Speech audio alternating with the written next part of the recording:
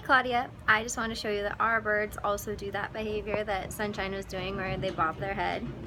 Tusa was doing it really consistently, but he's watching Dave change some lights, so he's a little bit more interested, but especially when I talk to him. Whoa!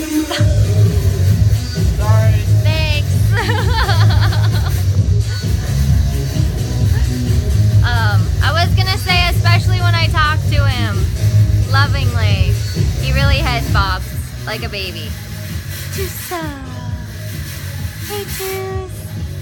Hey buddy! Ah. and he just kind of goes into a baby mode as you can see. Even like that wing flap is baby. It's a baby behavior.